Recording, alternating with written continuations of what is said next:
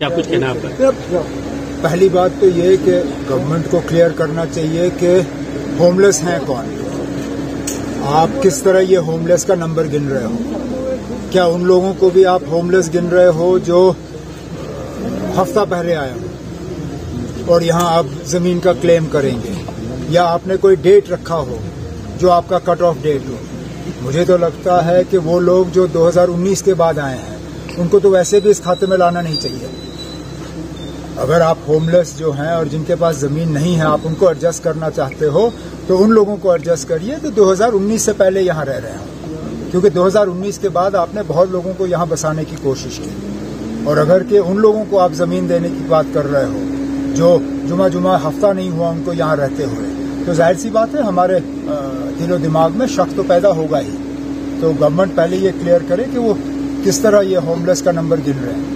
उसके बाद फिर वाजिया तौर हम इस पर और बात करें जिस तरह बिहार में ऑल पार्टीज़ मीटिंग हुई जिसमें कई पार्टियों ने जो शिरकत की उसके बाद एनसीपी की तरफ़ से जो आज महाराष्ट्र में जो अजित पवार ने वहाँ पर अलग एक रुख तो आपको लग रहा है कि इससे कुछ फ़र्क पड़ने वाला है? फ़र्क पड़ेगा। लेकिन क्या इससे एनसीपी को नुकसान होगा या नहीं उसके लिए इंतज़ार करना पड़ेगा। क्योंकि जहाँ तक सुनने को मिल रहा है लोगों ने महाराष्ट्र के लोगों ने पसंद नहीं किया। जिस तरह की बातें अजीत पवार साहब ने पवार साहब के बारे में की और बिलखसूस उनकी उम्र के बारे में। जो कहा कि अब इनको रिटायर हो जाना चाहिए था इससे बहुत पहले। ये मुझे लगता है वहाँ के लोगों ने इस चीज़ को पसंद नहीं किया।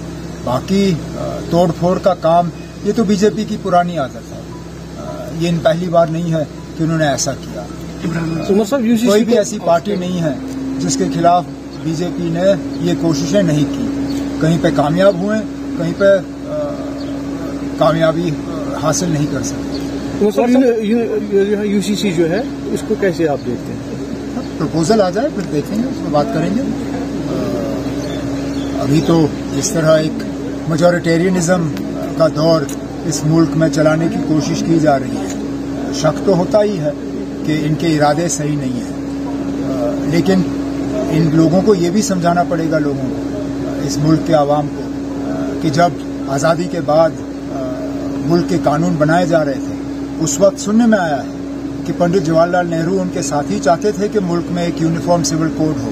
उसकी मुखालफत संघ परिवार ने की, क्योंकि वो नहीं चाहते थे कि इस मुल्क में उस तरह का कानून हो। अब इनका क्या प्रपोजल रहेगा, किस तरह हर किसी को साथ लेके चलेंगे, उसके लिए हम इंतज़ार करेंगे। तो आप अगर जिस तरह से आप यूनिफॉर्म सिविल कोड की बात कर रहे हैं अगर उस हिसाब से होगा तो आप क्या लगता है आप साथ देंगे अगर मगर क्या है ना करने दीजिए ना हम लाने दीजिए ना प्रपोजल अगर कोई भी इनका ऐसा प्रपोजल होगा जिससे कि यहाँ जो माइनॉरिटीज हैं मुल्क के उनको नुकसान पहुंचेगा।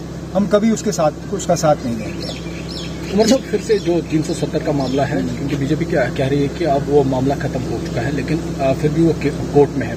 तो आप जो अभी सुनवाई होने वाली है, आने वाले वक्त में, आप कैसे देखते हैं इसे और एनसी क्या कर रही है? अच्छी बात है कि आखिरकार सुप्रीम कोर्ट ने बेंच का ऐलान कर दिया है। हम भी ये जानते हैं कि रातों रात ये होगा नहीं, क्योंकि पहले मौके पर शायद इनको गवर्नमेंट को नोटिस देना होगा। तो उसके बाद जाके फिर इस पर सुनवाई जो है वो शुरू होगी। और एनसी क्या करने जा रही है? हम इसमें पटिशनर हैं। हमने हमारे जो दो मेंबर पार्लियामेंट हैं हसनैन मसूदी साहब और अकबर लोन साहब वो इसमें पटिशनर हैं।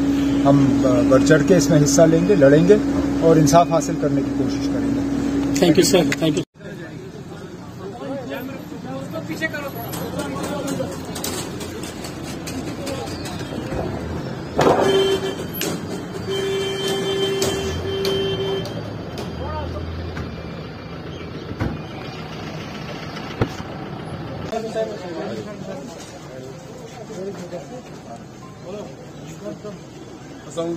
वालेकुम नहीं नहीं इधर से इधर से कर लो कर लो